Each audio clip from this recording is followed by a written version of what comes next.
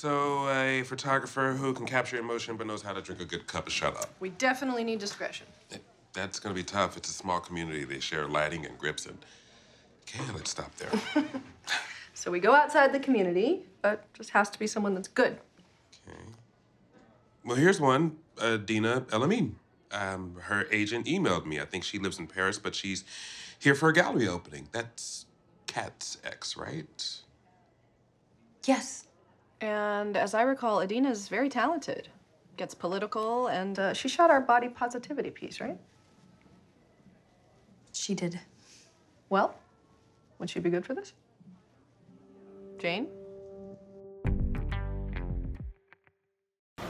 Thanks for watching The Bold Type. Now here's what you need to do.